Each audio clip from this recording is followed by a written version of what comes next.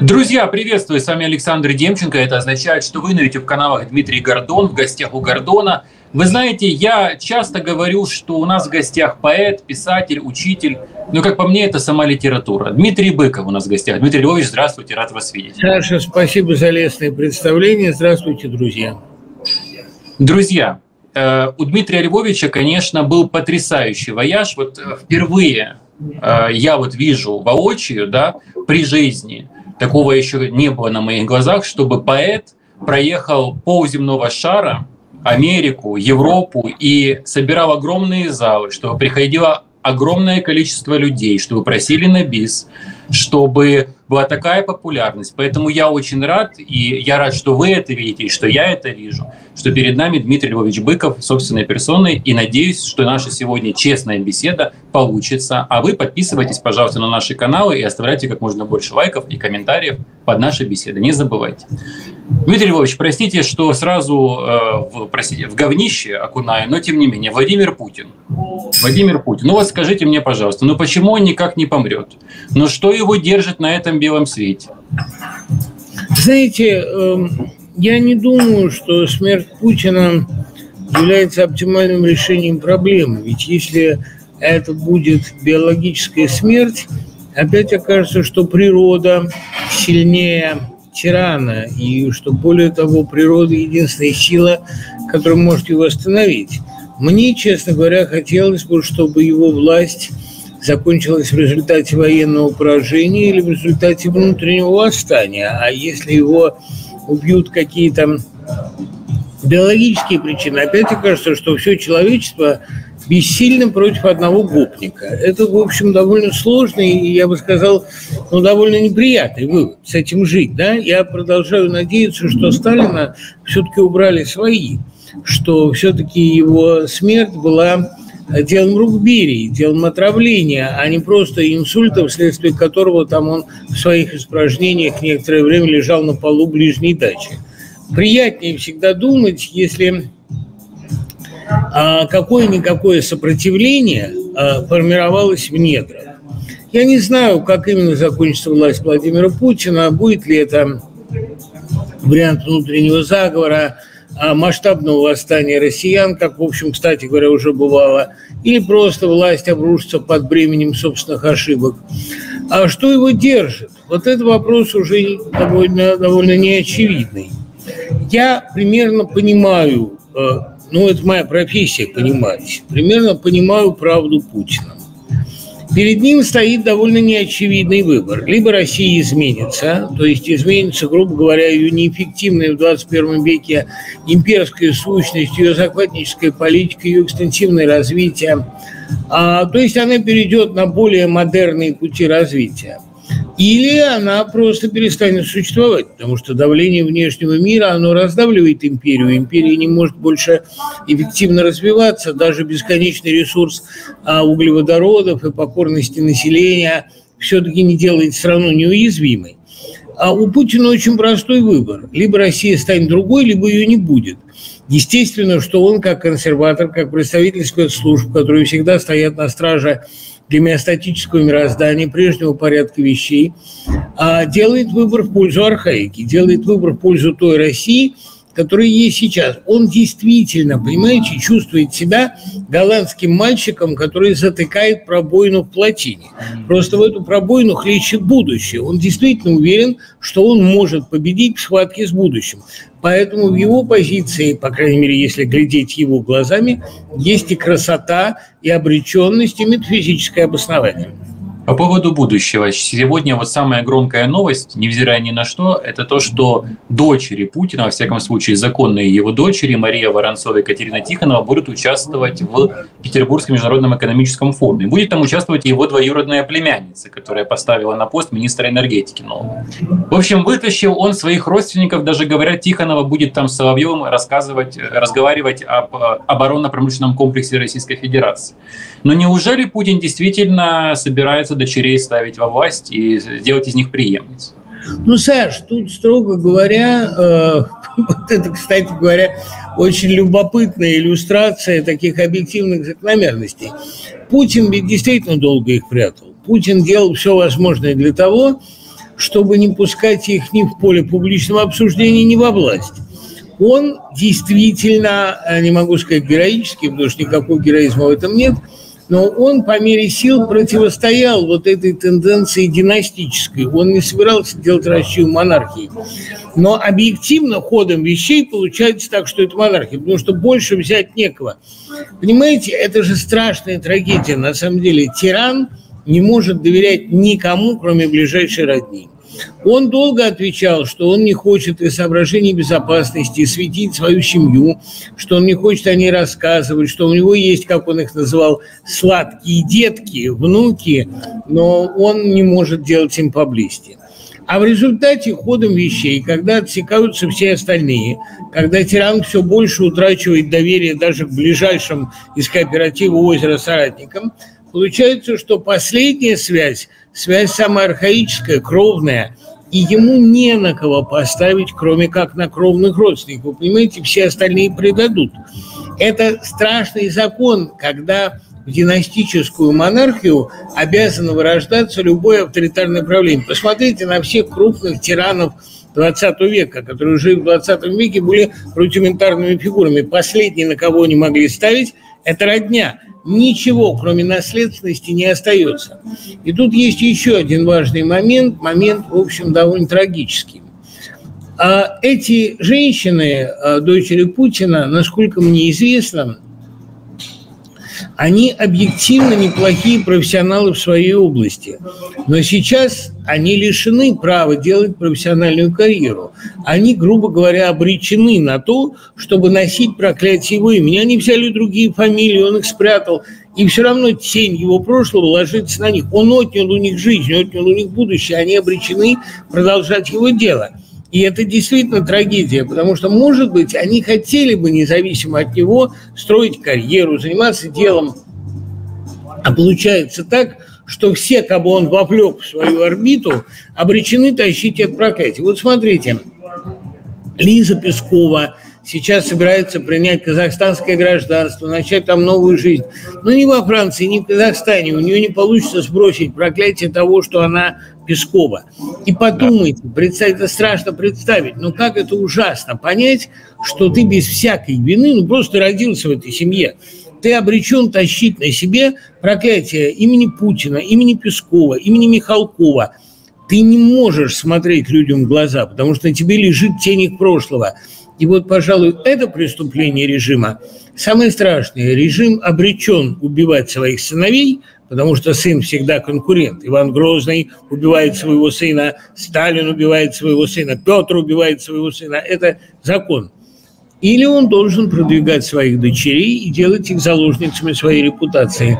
Иными словами, я человек завистливый, но в должности сына верховного правителя России или дочери его завидовать нечему. Дмитрий Львович, Путин сделал э, из жен мобилизованных иноагентов, врагов народа. Как вы объясняете это? Тем более, что он сейчас заставил их стать прямо на колени перед Министерством обороны, перед собой фактически. Саш, он их не заставлял это был такой стихийный жест, понимаете? Я много раз уже говорил, что Бог пишет русскую историю как иллюстрацию к русской литературе. «Бунт на коленях» – это сцена из истории одного города Салтыкова-Щедрина. Mm-hmm. Очень страшно представить, что матери, и жены и дочери мобилизованных стоят на коленях перед мобилизатором. Это он должен перед ними стоять на коленях. Это он должен у них просить прощения за то, что их мужья не возвращаются с фронта. А они на коленях перед ним. Я не знаю, кстати говоря, этот жест, он был стихийным, или он был э, результатом какого-то древнего инстинкта, или они придумали встать перед ним на колени просто ради жеста, я не знаю. Но как выражение позиции – это было предельно откровенно. Русский человек ничего не может сделать с властью, кроме как встать перед ней на колени. Не наброситься на нее, там ОМОН стоит три ряда, не проклясть ее, не отвернуться и уйти. Если у вас есть какая-то надежда спасти родню, единственное, что вы можете сделать, это встать на колени. И вот простите вы меня, но этот их жест перед Министерством обороны, это было самое страшное унижение в истории России, которое мы все видели за последнее время. Дмитрий Львович, а почему же он их сделал иноагентами? Боится? Да нет, ну как боится? Понимаете, у него вообще довольно сложное отношение родственникам мобилизованных, к женам погибших. Помните, во время встречи с женами экипажа Курска, Курск, да. женами подводников, да, он же очень долго не хотел туда ехать, и он сказал, что вообще э, нагнали каких-то шлюх, это да. его выражение попало в прессу. Он не любит, когда жертвы подают голос. Жертва, она как бы обречена на съедение, с ней надо разговаривать уже как бы, ну, с позиции таких загробных, если угодно. Он не воспринимает их как живых. А для него вообще любые представители народа, подающие голос, это предатели, особенно в военное время. А если они еще при этом обладают привилегиями, как жены мобилизованных, им вообще рот открывать не положено. Им надо просто благодарить за все. А вы знаете, что самый лучший подарок – это книга. Вот такая. И вот такая. И вот такая. И еще много-много разных моих книг с дарственной надписью. Все их можно приобрести в фирменном магазине моего мерча Гордон Shop. А еще там можно приобрести и вот такой кофе, и вот такую подушку, и еще много-много чего. Благодаря вам, покупатели фирменного магазина моего мерча Гордон Shop, я уже отправил нашим бойцам на передовую 170 дронов. Давайте отправим еще. Приходите в интернет-магазин Гордон Shop. Помогаем фронту!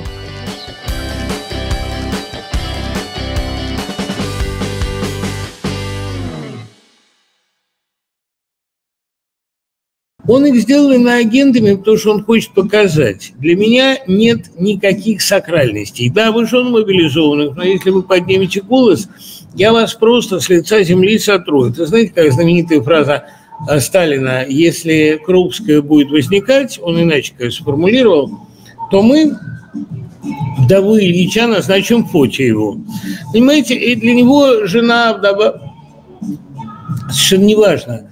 И э, я бы больше сказал, у Путина вообще относительно человеческих чувств, ну, скорбь по родным, тоска по родным. У него какой-то, особенно сейчас, когда у него уже безнадежно и уютно вселился дьявол – у него э, ко всем человеческим чувствам какое-то априорное презрение. Вы помните, как матери Навального не выдавали труп, глумились над ней откровенно.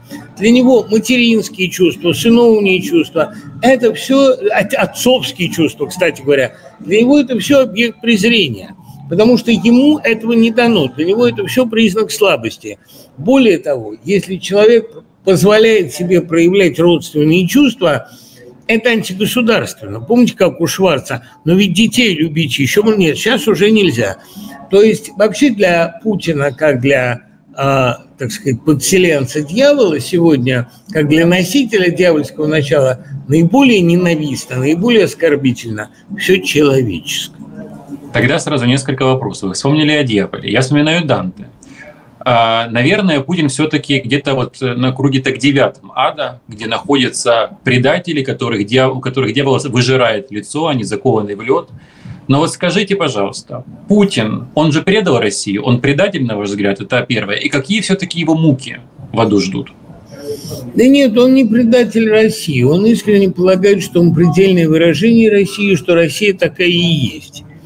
Я, кстати говоря, думаю, что девятый круг када не для него. А Путин, как это не ужасно, искренне верит в то, что он делает. Девятый круг када для его пропагандистов, которые не верят ни единому собственному слову, но продолжают. Это не то, что для меня искренний убийца, а симпатичнее неискреннего, но просто у Путина есть хотя бы то оправдание, что он не может иначе. У него не было выбора.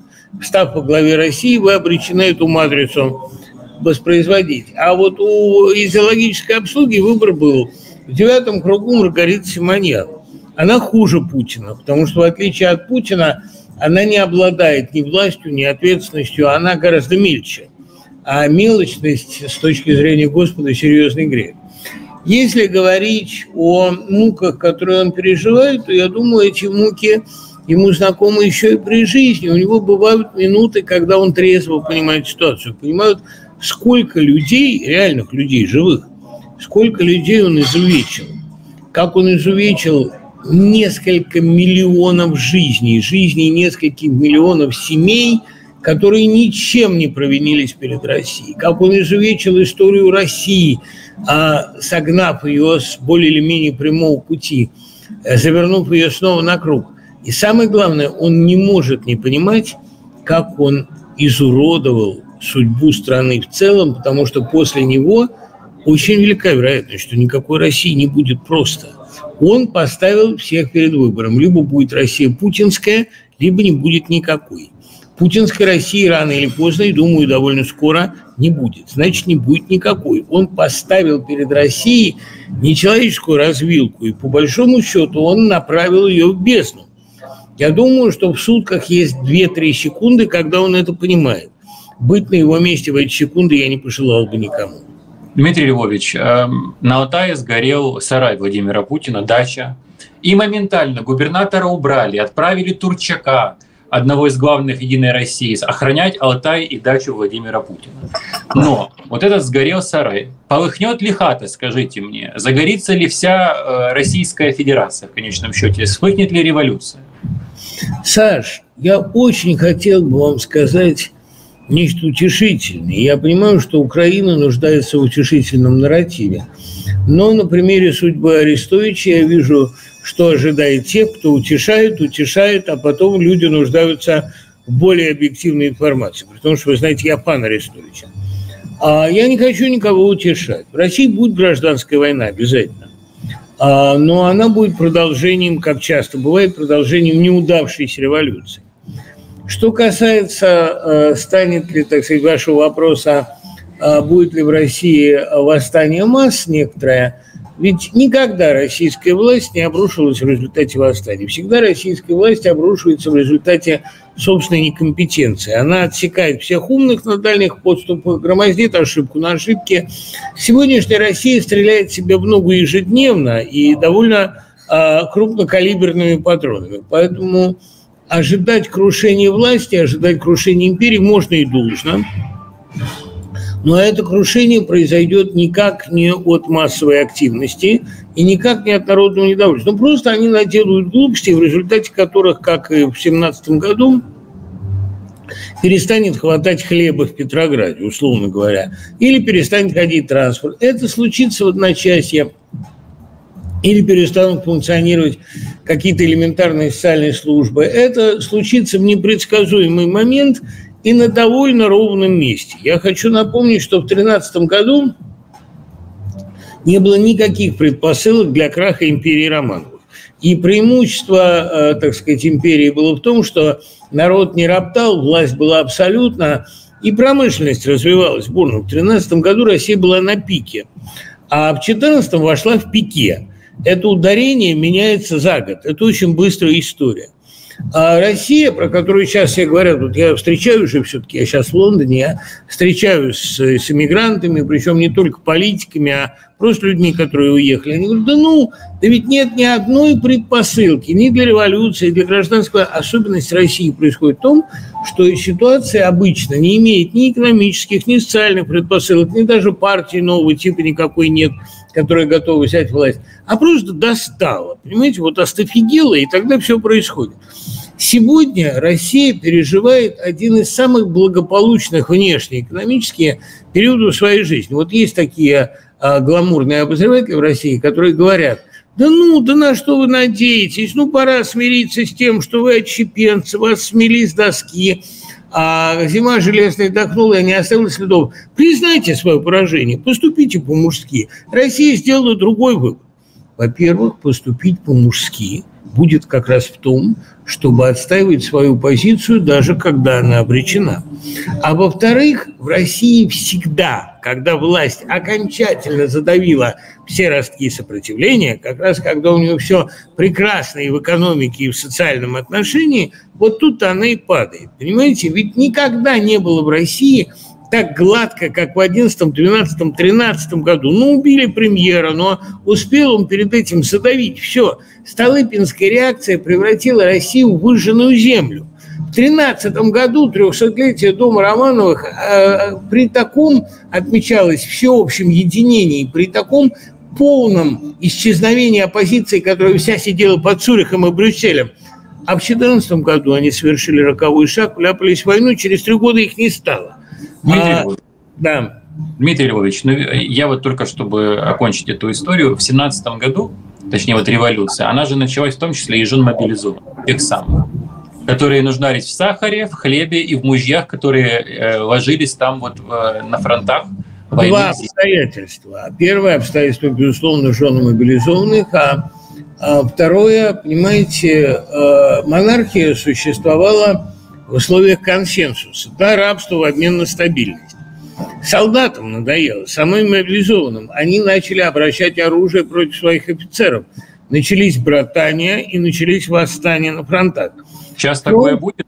Да, конечно. Фронт в России посыплется не от того, что Украина получит новое оружие, которое уже дошло до нее, а потому что людям надоело. Понимаете, они же действительно не понимают, за что они воюют. Огромное количество мобилизованных на вопрос, что они делают в Украине, могут ответить внятно. Садистов, которым убийство доставляет наслаждение, в России всегда бывает не больше 5-7%. Ну так показывает психиатрия. А большинство людей хотело бы сидеть не в грязи, не в окопе, не в жаре, не в смраде, хотело бы не погибать и не убивать, а хотело бы, ну, иногда, может быть, два раза в году устраивать праздники типа ВДВ, нырять в фонтаны и кричать «мы кровь проливали». Но остальные 360 дней им хотелось бы жить по-человечески. К сожалению, сейчас пока еще до людей не дошло, что Путин им такой возможности не предоставит. Но понимание этого факта – это вопрос нескольких месяцев. Друзья, перед тем, как мы продолжим, я вас призываю подписываться на все наши YouTube-площадки. Дмитрий Гордон, в гостях у Гордона. Оставляйте как можно больше лайков и комментариев уже под этой нашей беседой. За мной Майдан. За мной Крещатик, главная улица Киева, столицы независимой Украины – которая воюет за свободу с путинской фашистской Россией. Все самые свежие новости Украины и мира, а еще профессионализм, патриотизм и совесть. Телеграм-канал Дмитрий Гордон. Вы еще не с нами? Немедленно подпишитесь и будете знать все.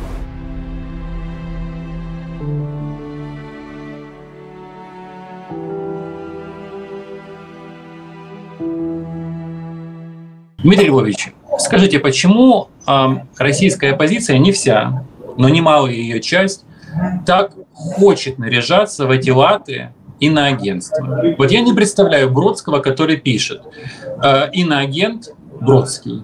Это, это, составил этот стих, или прочитал этот стих, или сочинил этот стих Бродский. Я не представляю этого. Ну, видите ли, у многих российских оппозиционеров, вы знаете, что я не ставлю эту Конечно, плашку, я поэтому и спрашиваю. Ну да, но это мне так повезло, в кавычках, что у меня в России нет родни.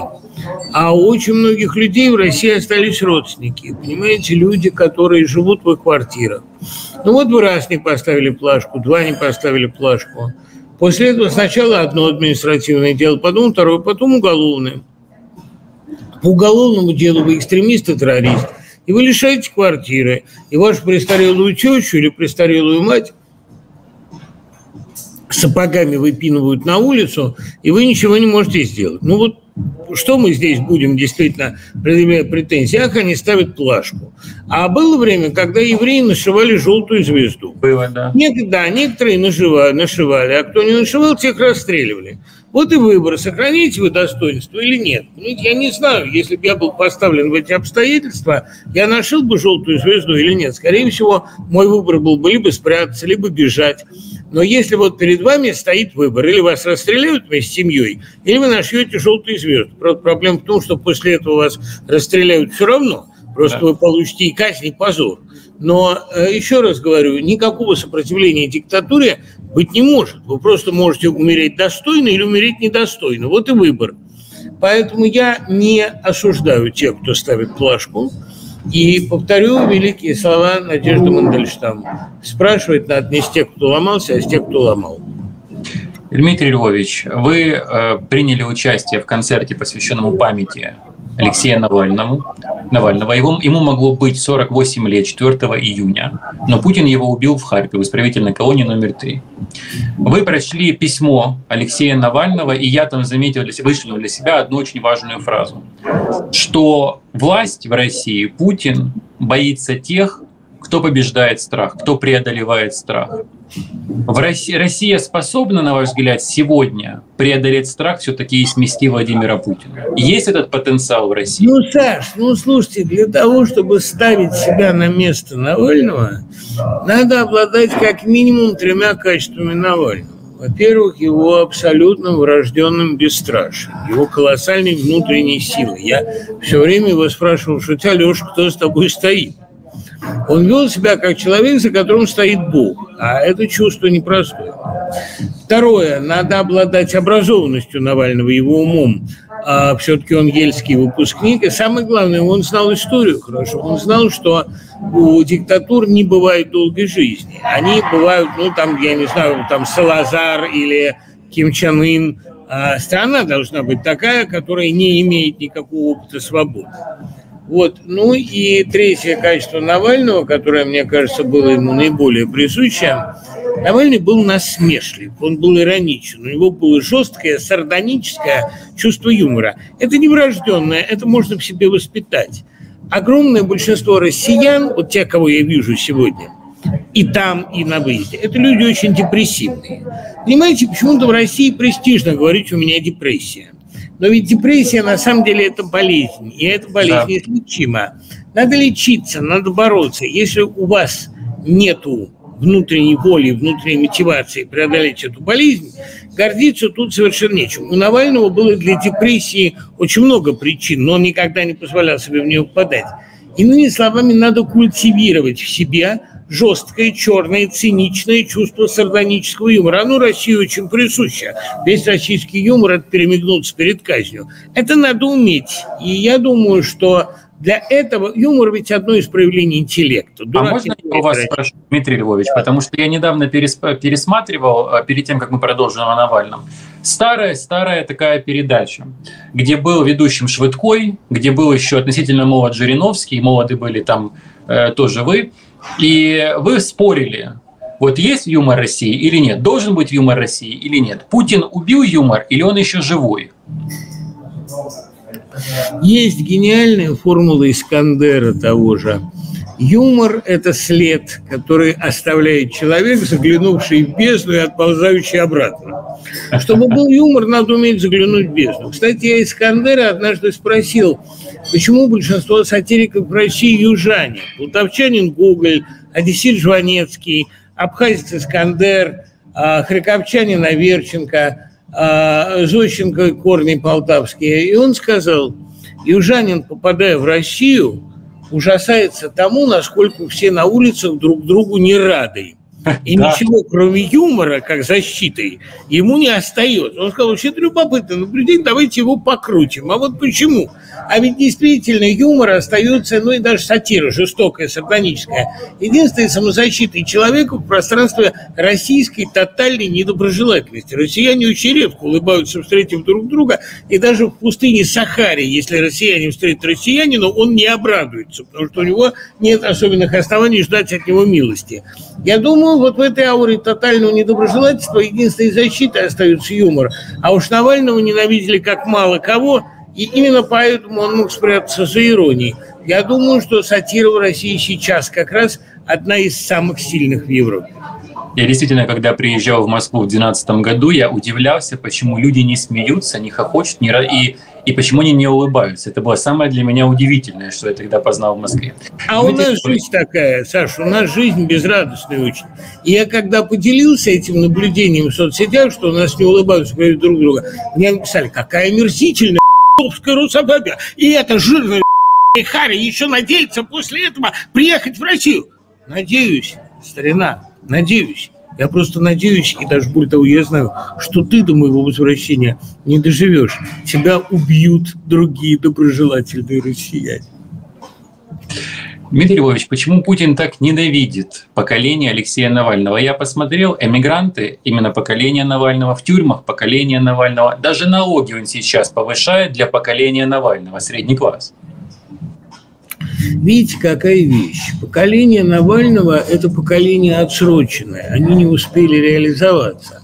После большого хапка к власти в России пришло поколение, рожденное в 50-е, в начале 60-х. Уступать они не намерены. Это великолепная формула Пелевина. Первоначальное накопление в России является также и окончательным. Никакой динамики в этой области не происходит.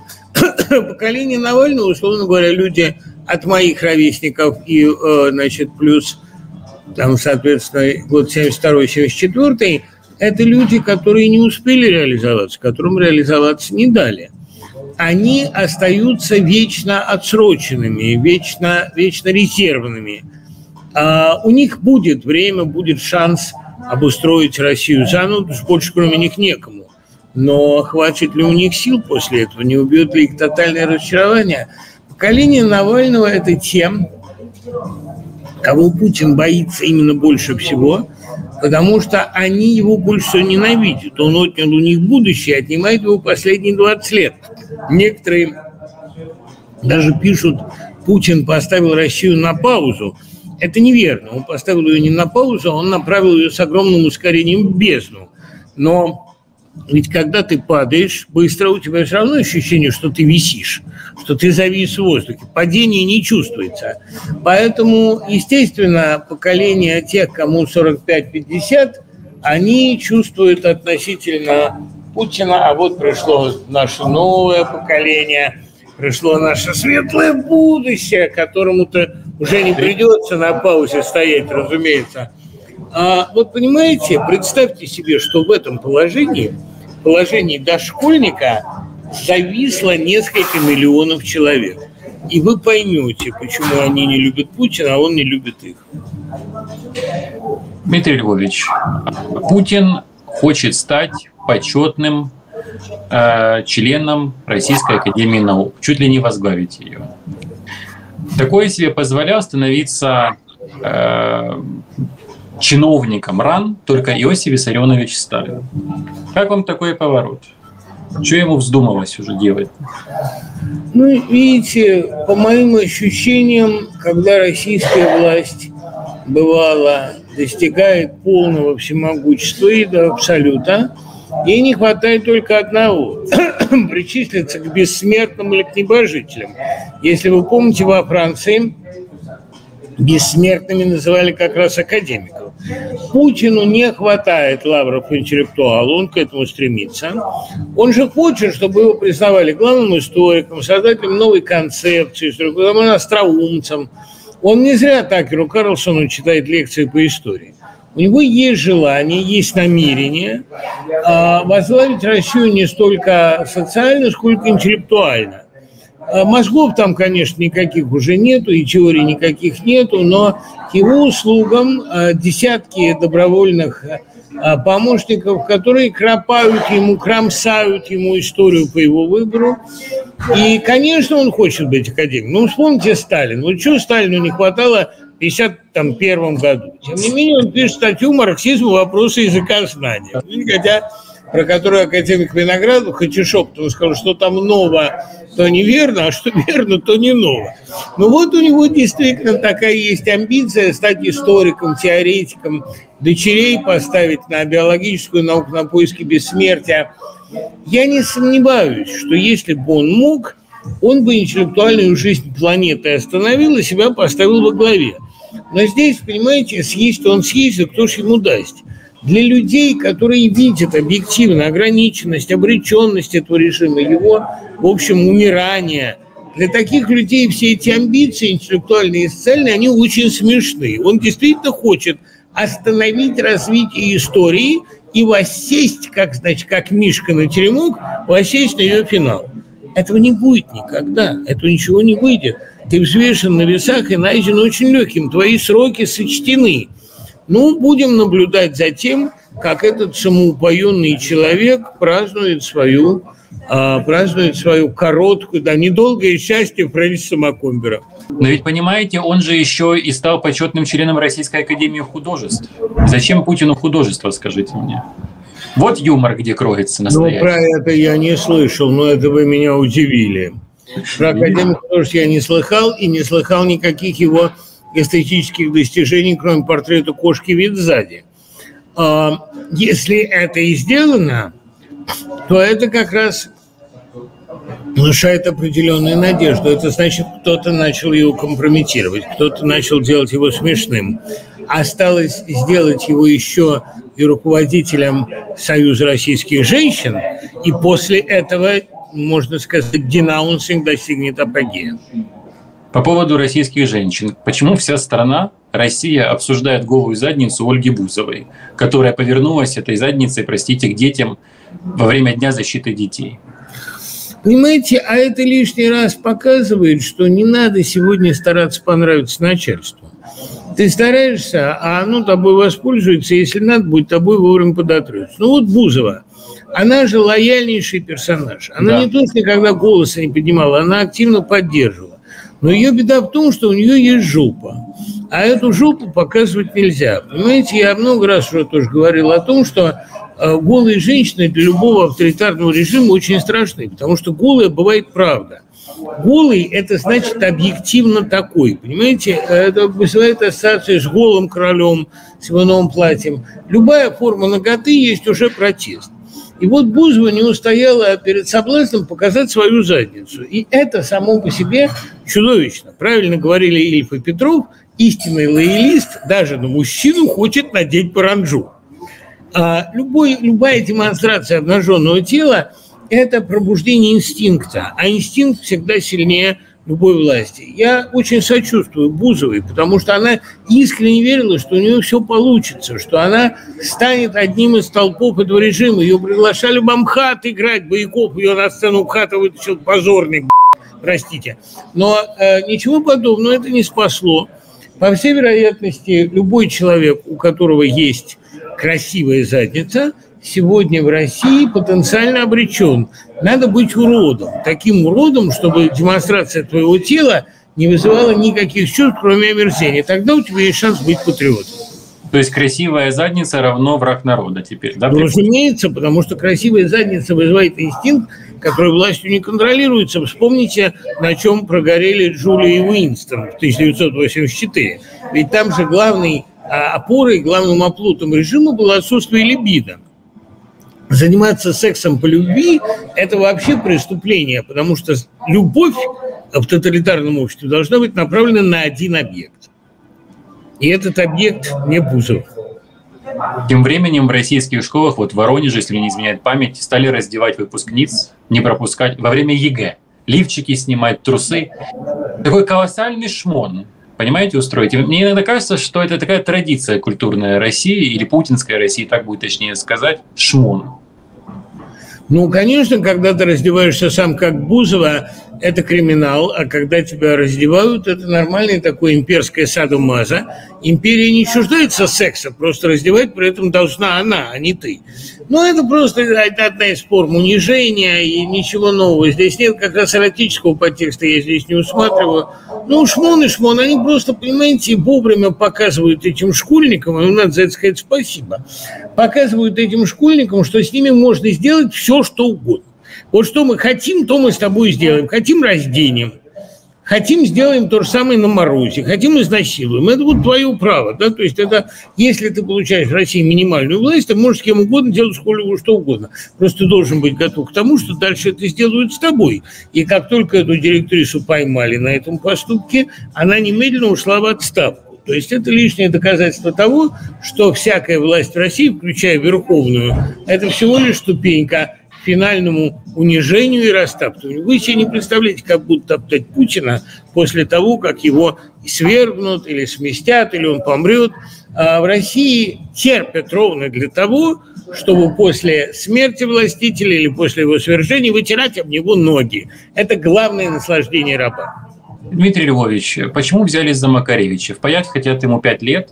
Поговорил он с этими КГБистами, чекистами, пранкерами – Вованом и Лексусом. Э, поддержал он президента Зеленского и Украину. И вот пытаются сейчас ему впаять пять лет. Боятся почему Макаревича и всех остальных уехавших, которые так далеко за пределами России сейчас находятся? Почему Путин их боится? Ну, во-первых, много раз было сказано, пока меня нет, меня могут хоть бить. Макаревич, слава богу, не в России. Во-вторых, понимаете, они всем уехавшим обязательно навесит ярлык экстремистов. Это неизбежно. Я много раз об этом говорил, к этому надо быть готовым. Они стараются процесс растянуть, у них не так много врагов, но, уверяю вас, времени у них тоже не так много. Ну и в-третьих, Житинский совершенно правильно писал когда-то, Макаревич – самый чистый достойный представитель и продолжатель шестидесятничества. Он чистый романтик. В этом плане он Путину, конечно, ненавистен. Макаревича абсолютно нет цинизма. Макаревича много доброго юмора. Макаревич, в конце концов, очень талантливый музыкант, а Владимир Путин нет. Поэтому Макаревич оптимальная мишень, и все, кто последует за ним, всех истинных представителей российской культуры, я хочу поддержать. А в конце концов, это единственная сегодня форма государственной поддержки, которую не стыдно принять. Пугачева э, вновь спела, и мне почему-то кажется так вот внутренне, мне, я так чувствую, что она скоро заговорит. Не знаю почему, не могу объяснить, но вот скоро заговорит, мне так кажется. Нет, она говорит давно, ее обращение к Стасу Михайлову широко растиражировано, она говорит – Ей не надо говорить. Она женщина, которая поет, и песни ее абсолютно откровенно. И когда она поет, она говорит гораздо больше, чем если бы она занималась публицистикой. Я думаю, скоро заговорят в России как раз представители культуры, даже самые лояльные.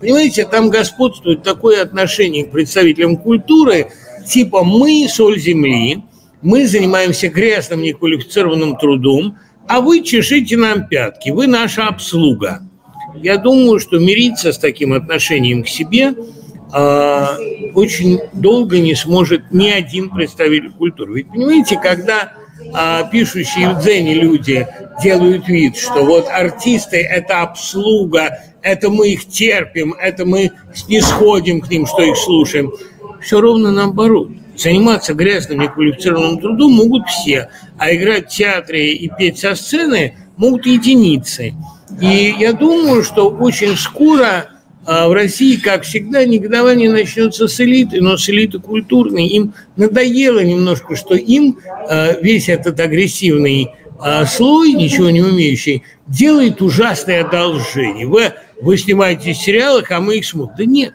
мы даем вам иллюзию бессмертия. А без нас вы никому ни зачем не нужны. Поэтому я думаю, что очень скоро Владимир Путин останется шаманом, больше ни с кем.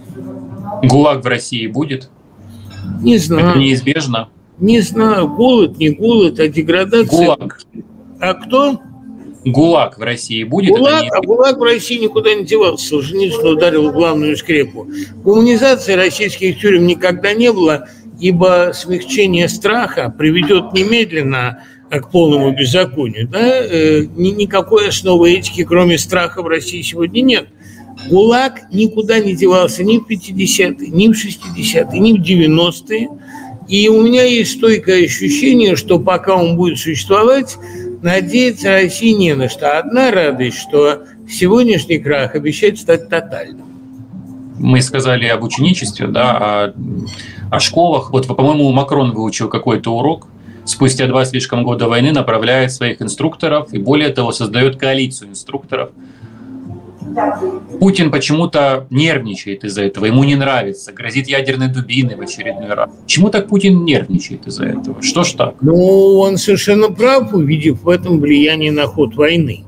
Он очень боится прямого вмешательства НАТО в конфликт. НАТО тоже очень боится этого прямого вмешательства, могу вас утвердить. Но не знаю, утешит это или нет, я могу сказать одно. А и Европа рано или поздно вмешается в конфликт, радикально поняв, с чем она имеет дело. И самое главное, Владимир Путин обязательно, у него нет вариантов, нажмет кнопку. А как только он нажмет кнопку, он этим подпишет себе приговор. Потому что у Запада не останется ни малейшего стимула воздерживаться от участия в конфликте. Эти две красные линии, заход на территорию НАТО и применение ядерного оружия, НАТО обозначило давно – но, как вы знаете, отношение Владимира Путина к ядерному оружию полностью исчерпывается стежком Барто. Я купил риску, решил ее не есть, но как не съесть риску, когда и риска есть? Оружие есть, он его применит. Дмитрий Львович, последний вопрос на сегодня. А, прекрасная Россия будущего, она будет Или Путин навсегда, и после Путина будет Путин, и, и бюстики Сталина так и останутся? Да нет, она неизбежно будет, просто после Путина будет неизбежный период внутреннего конфликта, или смуты, или гражданской войны, или любой другой неразберихи. А так просто выйти из тирании нельзя. Тирания оставляет после себя а, длинный инверсионный след. И, безусловно, прекрасная Россия будущего будет, но будет она тогда, когда россияне поймут ее необходимость. А чтобы они это поняли, по всей видимости, им предстоит пройти через долгий период голода, озлобления и взаимного истребления. Надежда на то, что история сейчас ускоряется, и если гражданская война тогда заняла 2-3 года, сегодня она может уложиться в год. Друзья, спасибо большое, что вы спасибо все это... Спасибо и вам, до скорого. Дмитрий Львович, до скорого.